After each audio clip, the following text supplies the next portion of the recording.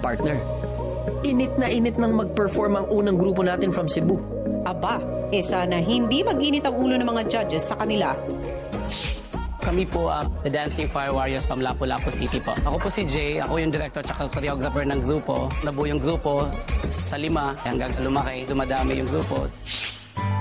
Yung struggles lang minsan kasi yung ano, wala ka talagang enough na fans. Kailangan mo talagang magpursige to earn money. Iba yung feelings eh pagkasama mo yung mga grupo mo. Pagka second family mo na rin po sila.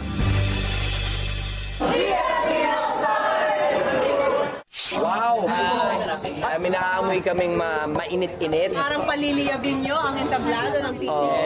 Good luck! Thank you. Good luck! Thank you po. Pwede na kayo uh, pumasok doon.